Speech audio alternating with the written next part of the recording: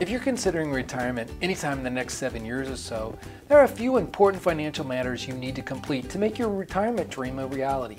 Hi, I'm Andy Mattingly, and in today's Save It Up moment, I'm going to share with you pre retirement moves you should be making now. The sooner you start working on these actions, the more likely you're going to retire on your timeline. Being prepared is the best way to have the best chance for a happy retirement life. So I'm just going to go through this list. I have 10. Develop a retirement budget.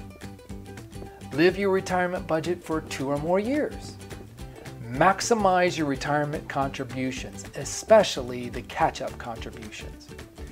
Build your health savings balances so you can use them in retirement, not before you retire.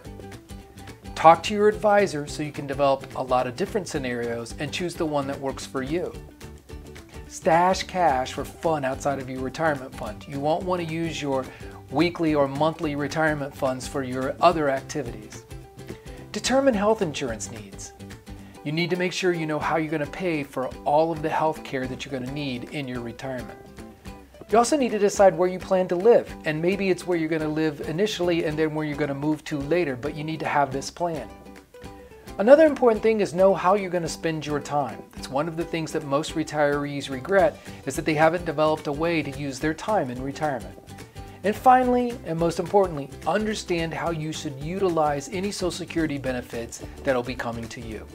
These 10 pre-retirement moves can help you make important decisions on your retirement plans and timing.